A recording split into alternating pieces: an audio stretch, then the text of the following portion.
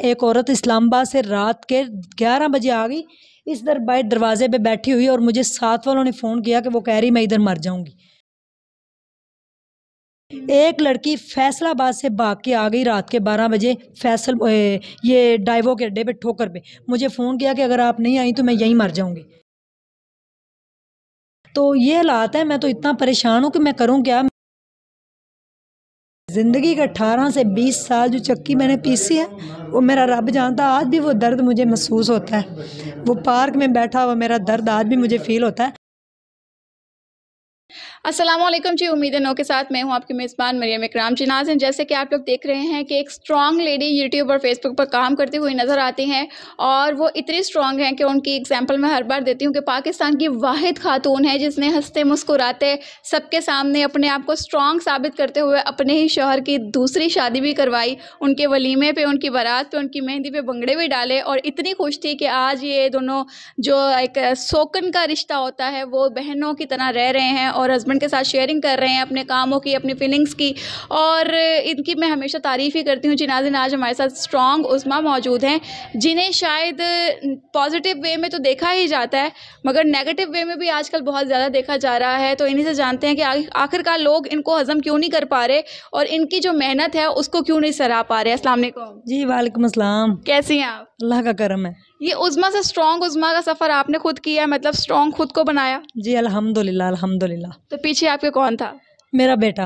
आपका बेटा? जी मेरा बेटा ही मेन करेक्टर है स्टोरी का। उसने मुझे स्ट्रॉन्ग किया है और उसको ही लगता था कि मेरी मामा स्ट्रॉन्ग है। तो उसने मेरा नाम भी ये रखा है। पिछले साल दिसंबर में मैंने माइक उठाया था और इस साल यानी कि अगस्त जा रहा है। तो आप देखें, एक साल मुझे आठ माह हो गए काम करते हुए। तो अल्हम्दुलिल्लाह, इसके अंदर बड़े उतार चढ़ाव भी मैंने देखे हैं, लेकिन मैंने हिम्मत नहीं आ रही और मैंने स्ट्रगल की है अल्हम्दुलिल्लाह।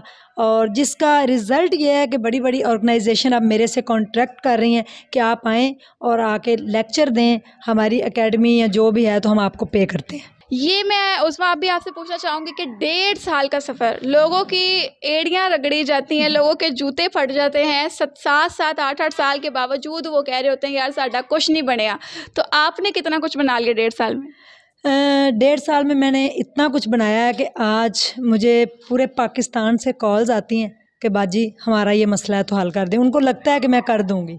यानी कि लाहौर में तो लोगों के प्रॉब्लम जो है मैं उनको करती हूँ लेकिन आउट ऑफ़ कंट्री से भी लोग जो हैं वो मुझे फ़ोन करके ये जब कहते हैं ना कि बाजी हमने बड़ी आस उम्मीद से आपको फ़ोन किया था कि मेरे हस्बैंड बीमार हैं या मैं डाइवोर्स हूँ या मैं बेवा हो गई हूँ तो मेरे बच्चों का राशन यानी कि उनको ये होता है कि उस्मा बाजी हमें दे देंगे और मेरी एक ह्यूज फ़ैन फॉलोइंग है कराची में हम्म। कराची में मेरी बहुत ज़्यादा फ़ैन फॉलोइंग है वहाँ पर मैं गई थी मैंने जेडीसी को माशा दस लाख रुपये की डोनेशन दी हम्म। तो उसके बाद फिर काफ़ी ज़्यादा लोगों ने मुझे कॉल कॉल की कि आप जेडीसी के पास आई थी प्लीज़ हमारा भी ये मसला हल करें। तो जो मेरे पास अपने खर्चे के भी पैसे होते हैं मैं वो भी दे देती हूँ। ये क्यों देती हैं? लोग तो जब चार पैसे आना शुरू होते हैं वो कहते हैं अपने पे पहले लगाओ अपना लाइफ बेटर करो उसके बाद जो है दूसरों का सोचेंगे। आपने ऐसा क्यों नहीं सोचा?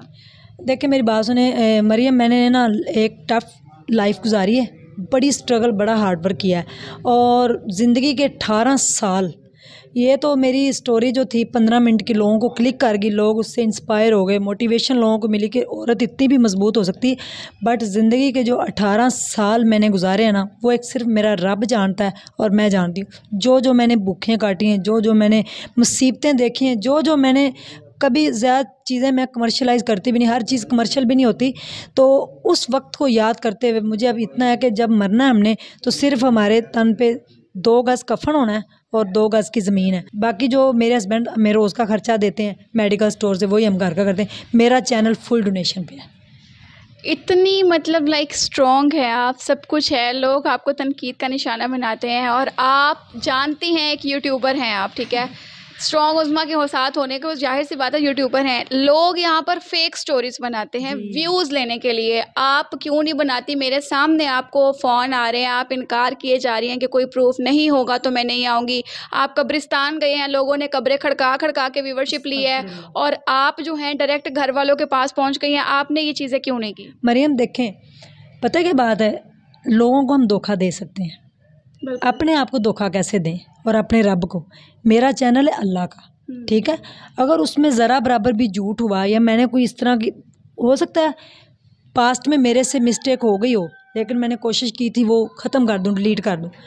तो उसमें अभी आपका एक भरा हुआ रजिस्टर मैंने देखा है उसके अंदर पता नहीं कौन कौन से खाते लिखे हुए हैं तो ये आपका आटा दाल चीनी घी है या क्या है ये? ये सारे खाते हैं जिनकी मंथलियाँ लगी हुई हैं। अच्छा। हर चीज़ मरियम कमर्शियल नहीं होती कुछ सफ़ेद पोश लोग हैं जिनका मैं मंथली किराया देती हूँ घर का। और बाकी अगर कोई वैसे भी आ जाए जैसे आज दो औरतें फैसलाबाद से आ गई थी पता नहीं कहाँ से मेरा नंबर लेके और मैं अब एक मैसेज भी देना चाहूँगी कि प्लीज़ मेरे से कांटेक्ट करके आएँ। आप आउट ऑफ़ सिटी से आ रहे हैं अल्लाह ना करे आपके साथ कोई हादसा हो जाए अल्लाह ना करे। तो आप तो यही कहेंगे ना हम स्ट्रॉन्ग उजमा के पास जा रहे थे आप बिलीव करें मुझे नहीं पता वो कौन है। इतना रोई है इधर आके वो इतना रोई मुझे घर फ़ोन गया कि इस तरह वो आई हुई आप आएँ।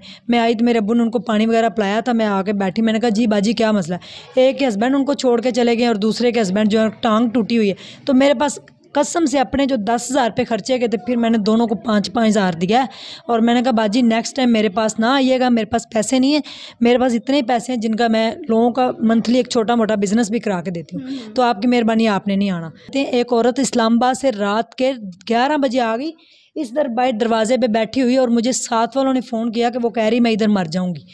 फिर मुझे घर से आना पड़ा मैंने अपने अब्बू को बुलाया कुछ मसला ना हो जाए। माशाल्लाह अच्छी खतून पढ़ी लिखी। ठीक है? और बैग उठाया कहती मैं तो अपना घर छोड़ के आऊँगी मैंने आपके पास ही रहना है। अब मैं कहाँ रखूँ? ये एक सिलाई स्कूल है मैं यहाँ नहीं रख सकती। आप बिलीव करें उसको मैंने खाना खिलाया खिला के फिर उसको मैंने रिक्शा ले के उसके साथ न्याजी अड्डे पे गई उसको इस्लामाबाद की वापसी की टिकट लेके दी। उसको मैं छोड़ के आई। एक लड़की फैसलाबाद से भाग के आ गई रात के बारह बजे फैसल ये डाइवो के अड्डे पर ठोकर पे। मुझे फ़ोन किया कि अगर आप नहीं आई तो मैं यहीं मर जाऊँगी। क्या मैं इन कामों के लिए रह गई हूँ? फिर मैंने अपने भाई को लिया अपने अबू को लिया फिर हम ठोकर पर गए। जाके देखा तो वहाँ पे छोटी सी बच्ची पंद्रह से सोलह साल की हम्म। नकाब किया और आ गई। मैंने कहा तुम किसके साथ है? कहती मैं अकेली आई थी इस डेवो पे बैठ के। पैसे मैंने कहा कहाँ से लिए? एक मोबाइल छोटा सा उसके पास। कहती पैसे मैंने नहीं दिए मेरे हस्बैंड ने मुझे खड़े हो गए डाइवोर्स दे दिए। मैंने कहा तुम्हारी शादी भी हुई हुई है। पंद्रह से सोलह साल उसकी एज थी। कहती मेरे हस्बैंड ने मुझे डाइवोर्स दी सड़क पे और अब मैं यहाँ से नहीं जाने वाली यहीं मर जाऊँगी। अब मैंने वहाँ पे लोग भी इकट्ठे हो गए पुलिस भी आ गई। मैंने कहा सर देखें मेरा इस तरह यूट्यूब पे चैनल है इस तरह मैं भलाई के अगर काम करती हूँ तो लोग उसका गलत फ़ायदा उठाते हैं। उसको फिर खाना खिलाया उसको वापसी की टिकट दी, साथ उसको दो हज़ार रुपया दिया और उसके आगे हाथ जोड़े कि आप बीबी वापस जाएँ और इस तरह मुझे तंग ना करें। तो ये हालात है, मैं तो इतना परेशान हूँ कि मैं करूँ क्या? मैं अगर काम कर रही हूँ तो देखें, मैं ईदी नहीं बन सकती। बड़ी बड़ी जो ऑर्गेनाइजेशन है, जो फाउंडेशन अल खिदमत वाले हो गए, ईदी वाले हो गए, ये राह इंसानियत वाले, आप इनसे रबता करें। मेरा एक छोटा सा यूट्यूब का चैनल है, मैं वहाँ से चार पैसे कमा के लोगों की हेल्प करती हूँ। तो मैंने आपसे पहले भी इंटरव्यू दिया था अपील की थी कि शायद अफरीदी फाउंडेशन तक कोई मेरी आवाज़ पहुँचा दे।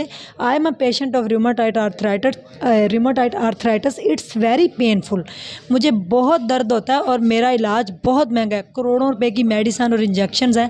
मैं कहाँ से लगवाऊँ? तो मैं सिर्फ़ पेन किलर खा के गुजारा करती हूँ, जो कि आप ये यकीन करें कि किसी दिन भी मेरी किडनी फेल हो सकती हैं, जितनी कि मैंने पेन किलर खा ली। अच्छा तो लास्ट मैं आपसे मैसेज लेना चाहूँगी, क्योंकि हम लोग आपको देखना चाहते हैं कि लोगों के लिए जो जिस तरह से आप मसीहा हैं, लोग आपको फ़ान करते हैं मदद के लिए। अल्लाह पाक ने आपको इतनी इज़्ज़त दी है, ज़ाहिर सी बात अगर देने वाला हाथ हो तो लोग आपके साथ मोहब्बत भी करते हैं। तो हम चाहते हैं कि लाइक लोग जो आपको डोनेशंस भिजवाते थे, आप हमारे पाकिस्तान में रहती हैं, हमारे पाकिस्तान के लिए इसी तरह से मेहनत करें और ईदी चले गए हैं, उनकी जगह अगर स्ट्रॉन्ग उज़मा है तो वो क्या करना पड़ेगा? आपको इतना ज़्यादा स्ट्रॉन्ग देखने के लिए हमें क्या करना पड़ेगा?